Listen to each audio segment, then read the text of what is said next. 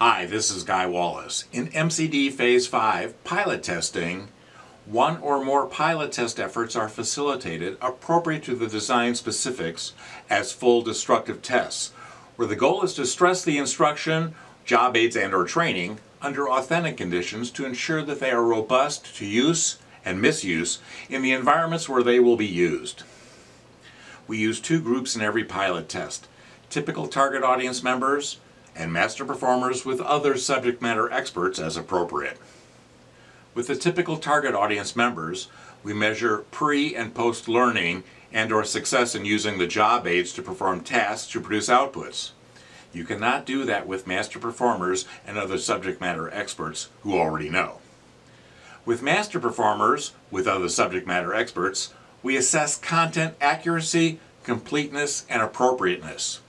You cannot do that with members of the target audience. The pilot test data is segregated and reviewed to create revision recommendations which are then reviewed and or approved with modifications as necessary in a formal gate review meeting with the project steering team, creating revision specifications for the final phase, revision and release. It's always about performance with the PACT processes. PACT has been proven in hundreds of projects by my staff and the staffs of my clients that I have trained.